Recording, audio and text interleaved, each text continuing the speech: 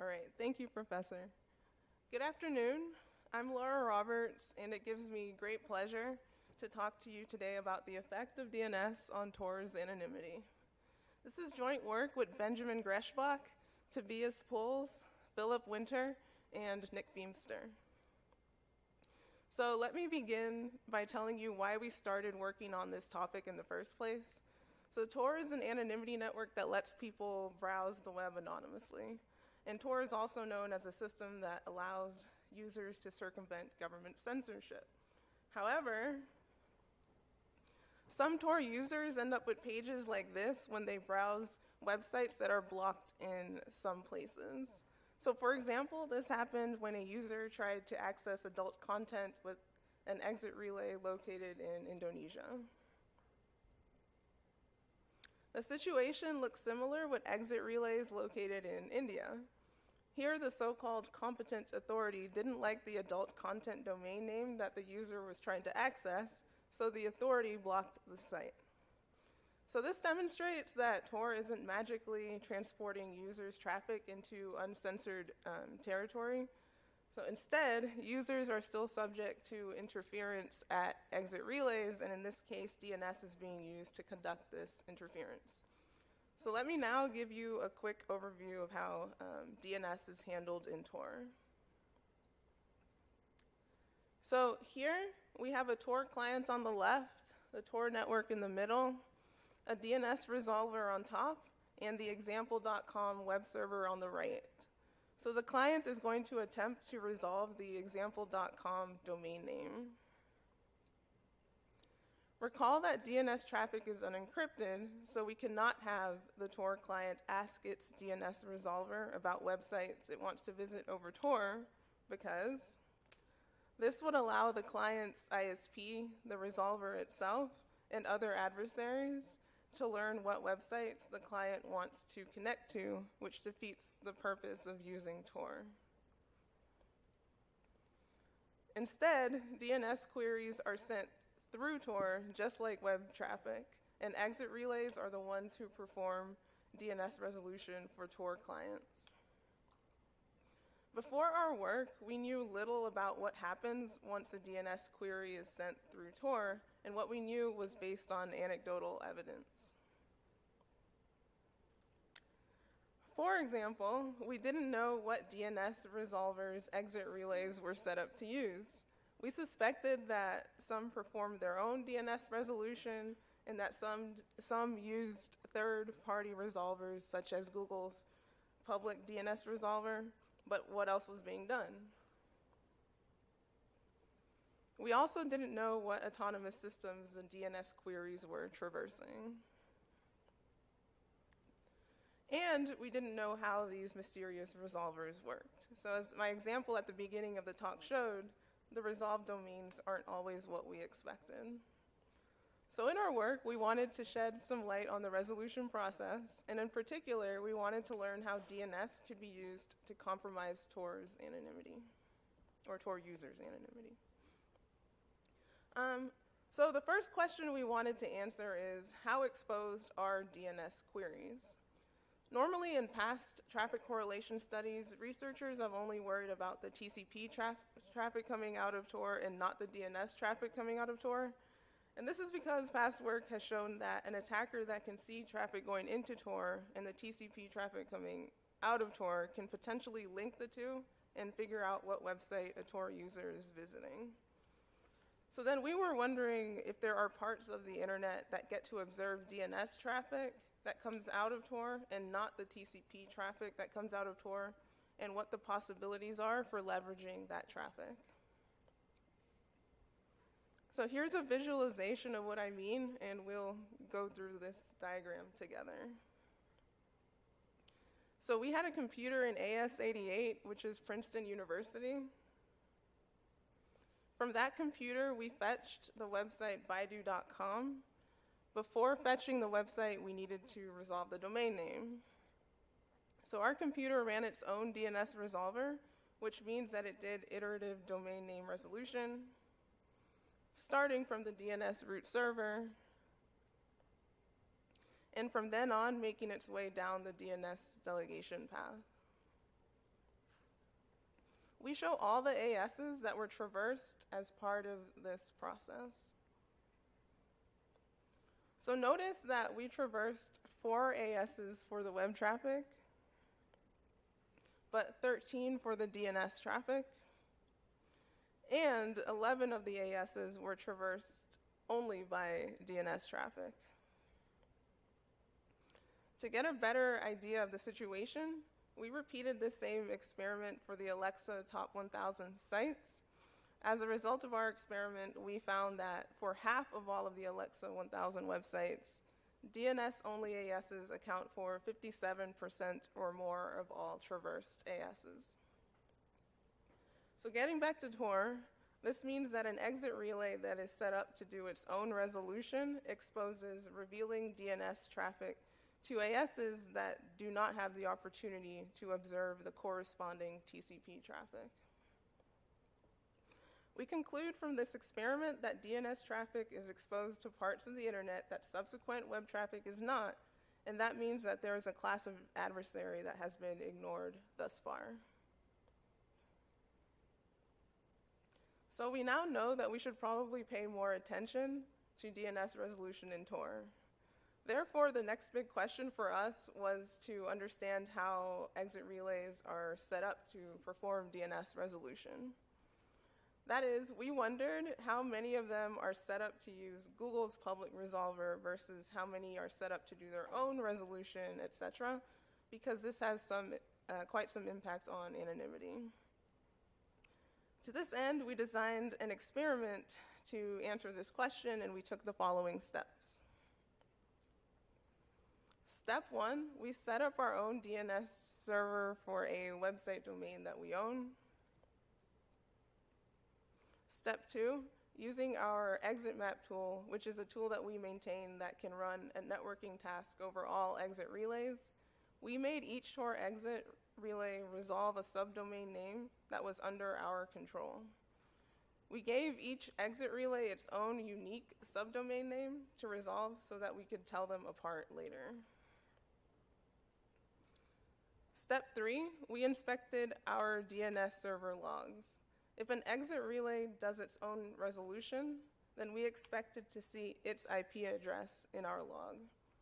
If it uses a third-party resolver, then we expected to see an unrelated IP address in our log.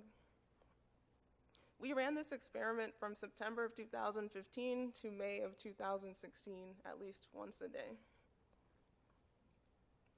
So here are the results of our experiment. In this table, we are showing you the minimum, maximum, and median percentages of DNS requests that the top four most popular resolvers could observe during the eight months of our experiment. In second place, we have exit relays that do their own resolution, and that's what we mean by the word local, and they represent around 12% of queries coming out of Tor on average. And in first place, we have Google's public 8.8.8.8 resolver that sees around one third of DNS queries coming out of Tor on average. At times, this number grew to over 40%, and this finding is significant because it is alarming that one organization is getting to learn so much about Tor users' behavior. So the next question is, how can an attacker leverage DNS queries to identify which websites Tor users are visiting? So we consider a threat model that's somewhere in between end-to-end -end correlation attacks and website fingerprinting attacks. So remember in a traffic correlation attack, the attacker can see ingress Tor traffic and egress Tor TCP traffic, and then he attempts to link the two. In website fingerprinting, the attacker can only see ingress Tor traffic, which is encrypted, and then he uses machine learning on, on it in order to identify the websites the traffic belongs to. In our threat model, we assume that an attacker can see the user's traffic going to its guard, so the ingress traffic. So on this side, the attacker can be um, the user's ISP, some AS on the path, or the guard itself. In our threat model, we also assume that the attacker can see some outgoing DNS queries, so the egress DNS traffic. So the attacker can be an AS on the path or a malicious DNS server. The idea is now for the attacker to do a traditional website fingerprinting attack and then augment it with the observed unencrypted DNS traffic in order to improve the results. So to that end, we extended the WA K-nearest uh, neighbors classifier from a Usenix security paper in order to come up with our two attacks. They're called close the world attack and high precision attack. In the interest of time, I'll only talk about our high precision attack. Um, in our high precision attack, we accept um, the WAKNN's website classification only if that website was also observed in DNS traffic. And this addition of DNS data makes our attacks more precise. And it turns out that our attacks work very well for unpopular websites. And by unpopular, I mean websites that are lower on the Alexa scale. And this is problematic for dissident websites such as WikiLeaks, etc.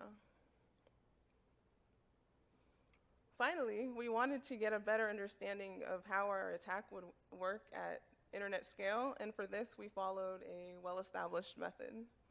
So we simulated clients from the five countries that have the most Tor users, and we placed them in the ASs um, of, those, of those five countries' most popular ISPs. Then we simulated their online behavior, similar to Aaron Johnson et al.'s CCS paper called Users Get Routed, and we made them visit several websites throughout the day. We also used the Tor path simulator for Tor path selection. Then we ran trace routes for ingress Tor traffic and egress Tor DNS traffic using the RIPE Atlas measurement platform in order to get the ASs that were traversed.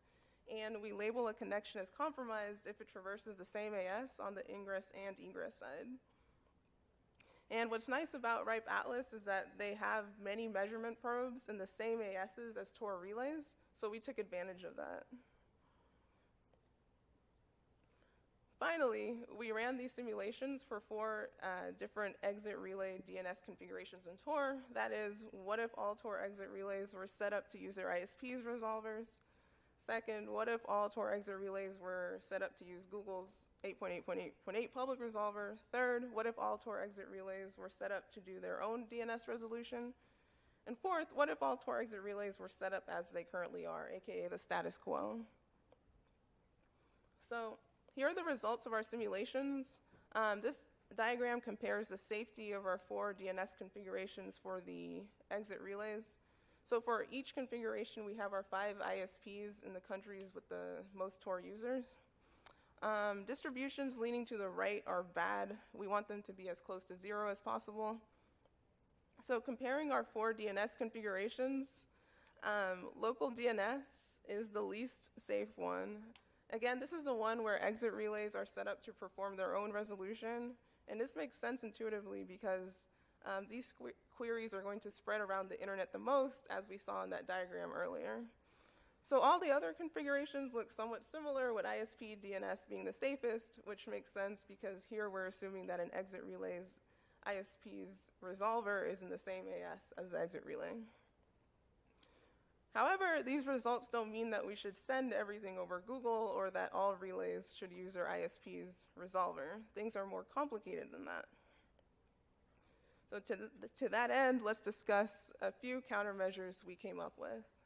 Uh, we actually recommend that exit relay operators should avoid using Google's, Google's public resolver so that Google doesn't get to learn so much about Tor users.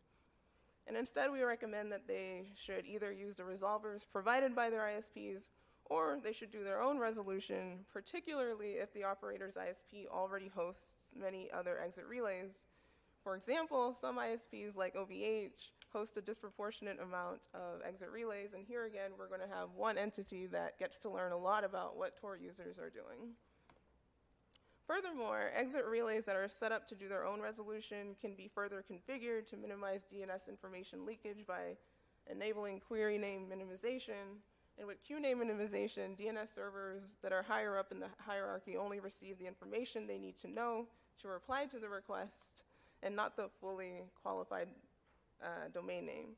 For example, if we wanted to resolve www.example.com, we can ask the root name server where .com is located versus asking it where www.example.com is. So long-term solutions include adding confidentiality to DNS. Uh, for example, TDNS um, transports the DNS protocol over TLS and TCP. Uh, deploying defenses against website fingerprinting attacks should be an important long-term goal too. So now you know how DNS can be used to compromise Tor and what to do about it. Uh, the contributions of our paper are that we discovered that DNS exposes Tor users' behavior to more adversaries than previously thought. That we discovered that Google gets to learn a lot about Tor users' online activity. Um, that we created proof of concept de-anonymization attacks that demonstrate how DNS can make uh, website fingerprinting attacks more precise. Um, and that we perform simulations at internet scale in order to understand how our attacks could affect real people. Ultimately, we learned that the nature of today's DNS presents additional opportunities for Tor de-anonymization, and our work compels researchers to continue exploring how to make DNS more secure. Uh, the moral of the story is that when you build a system like Tor, you have to look at the surrounding technologies um, that it uses because they won't necessarily adhere to your system's security and privacy goals. So here's our project website where you can find our paper, um, data, code, and replication instructions. I definitely encourage you to check out our paper because it's chock full of information that I didn't have time to touch on um, here. Uh, please feel free to contact me or any of my teammates, and I look forward to taking your questions now.